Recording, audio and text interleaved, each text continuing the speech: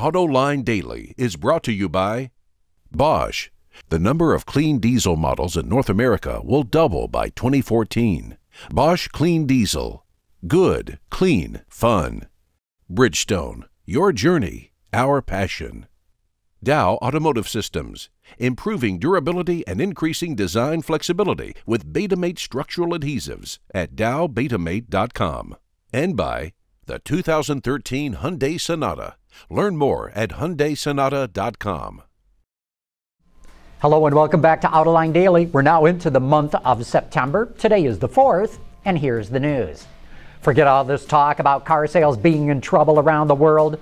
According to Ward's Auto, automakers sold over 6.5 million vehicles worldwide in July, an increase of over 7% compared to last year. And all regions except for Europe recorded gains.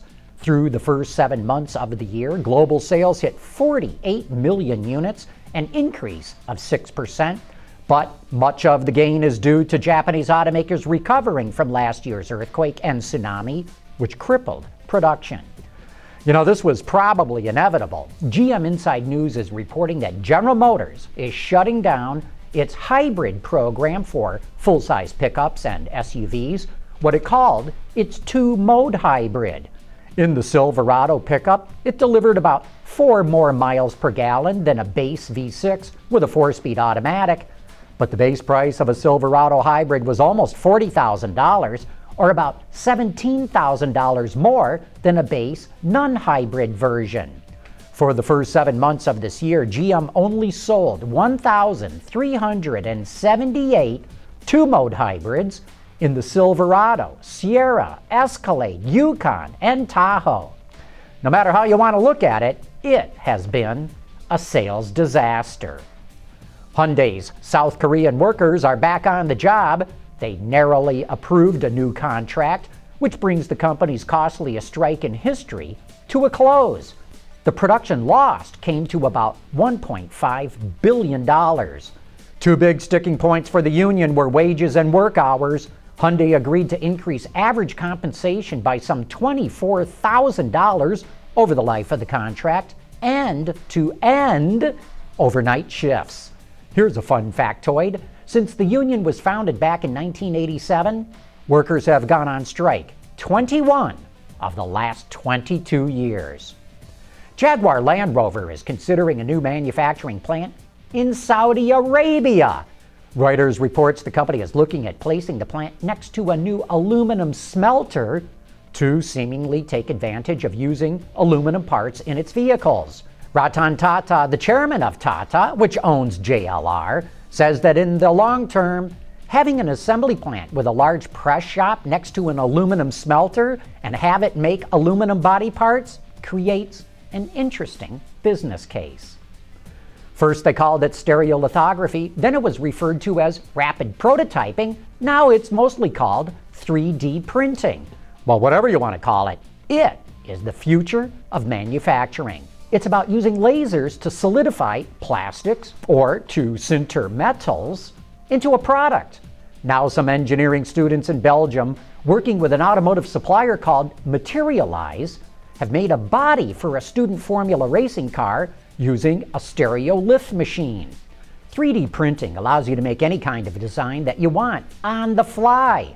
One of the greatest revelations in my career was when I saw rapid prototyping machines making parts to make other rapid prototyping machines.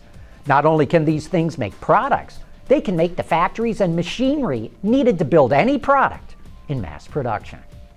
Nissan is on a roll right now. Every time you turn around, it seems to be coming out with a new model. After the break, we'll take a look at the new Sentra.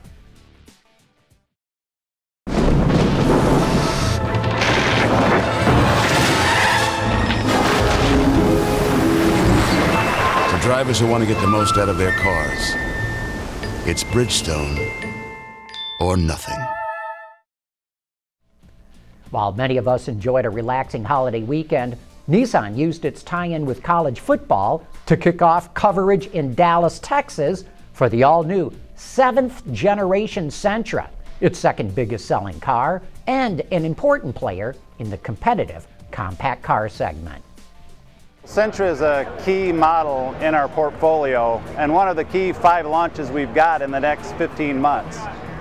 We expect it to do very well. We launched the Versa last year.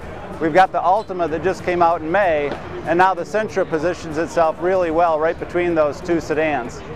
So this car is meant to hit the heart of the compact sedan segment, which is over 2 million annual sales and growing year over year. So it's a tremendous amount of volume. Most manufacturers want to have a strong player in this segment.